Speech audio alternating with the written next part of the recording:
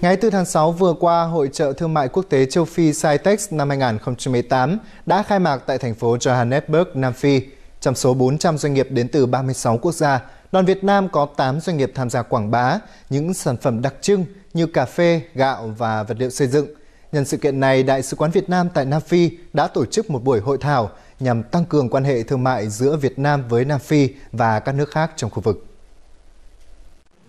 Nhân dịp có đoàn Việt Nam sang tham dự hội trợ, ngày 26 tháng 6, Đại sứ quán Việt Nam tại Nam Phi đã phối hợp với Phòng Thương mại và Công nghiệp thành phố Johannesburg tổ chức hội thảo với chủ đề Hợp tác thương mại với Việt Nam. Hội thảo đã thu hút sự tham dự của hơn 120 đại diện các doanh nghiệp của Nam Phi và các nước trong khu vực, tìm hiểu các vấn đề liên quan đến đầu tư kinh doanh tại Việt Nam. Chương trình cũng nằm trong chuỗi các hoạt động xúc tiến thương mại, nhằm hiện thực hóa mục tiêu nâng kim ngạch thương mại giữa hai nước từ mức 1,2 tỷ đô la Mỹ lên 1,5 tỷ đô la Mỹ vào năm 2020.